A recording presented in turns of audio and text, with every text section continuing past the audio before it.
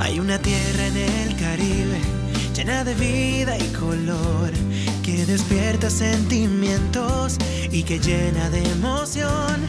Siempre ha sido la primera, de riquezas está llena y de gente que trabaja y se destaca donde quiera. Es una tierra de primera, de gente que trabaja y se destaca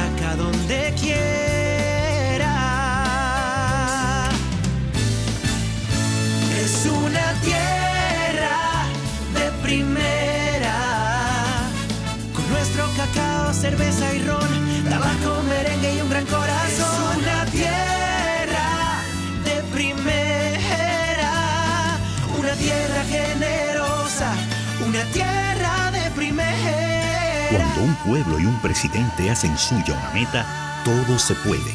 Ministerio de Industria, Comercio y MIPIMES.